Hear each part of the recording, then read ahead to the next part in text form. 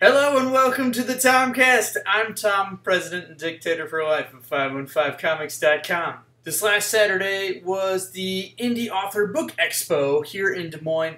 Uh, it was held at the Blank Park Zoo, which was pretty cool because I haven't been to the zoo in a while and I got to walk around the zoo for free, so that was pretty great. Also, the event was great. I, I got to see animals. Animals are fun. I was thinking a little bit about how book shows have a little bit of a different atmosphere and attitude compared to Comic Cons. Uh, I've been to a couple author events, a couple book shows specifically that aren't comic themed. Uh, and yeah, the attitude is just very different. The atmosphere is very different. That's what I just said before.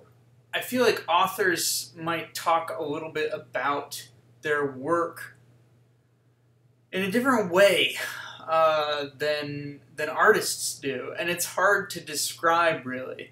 It was really cool to meet a lot of other local authors. I learned a really interesting fact, which I'm going to say is a fact, but this is like fourth hand information because some guy that I was talking to at this event read it in some article a while ago. So, grain of salt.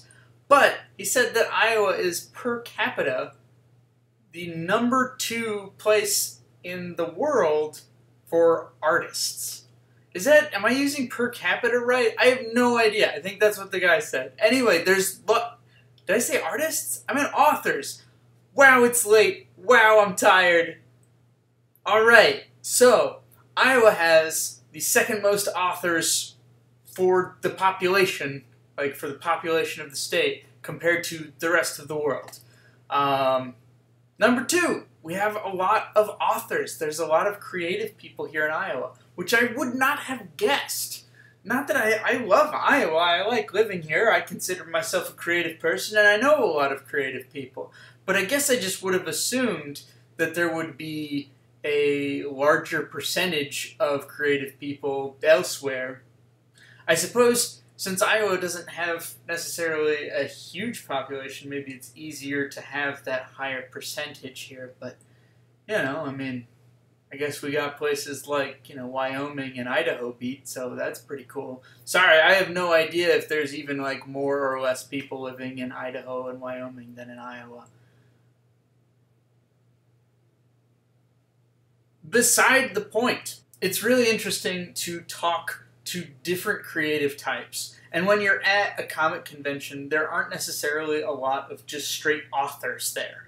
Uh, there are definitely people who maybe don't do the art for their comic and are just writing their comics. But I, I just feel like maybe there's just because there's that different approach and there's a lot of different thought that goes into writing prose versus writing a comic script that maybe people just have like a different sort of way of working and explaining it. It is really hard to describe. I would encourage you to go to both. It's really neat, even if you're not interested in buying any of the books. Heck, just a couple weeks ago, I went to a little event at a local bookstore just to talk to authors. Go see authors, go see comic creators and artists uh, in their element, in the wild uh, at these at these kinds of events. Many of them are free. Uh, you know, if you're in Iowa, there's more and more stuff like this to find. If you're creative at all, like these people will charge you up. Like you will be excited about doing whatever it is that you want to do when you are surrounded by people who are so excited about what they want to do. Yeah, all right. Thanks as always for watching. You guys keep your stick on the ice.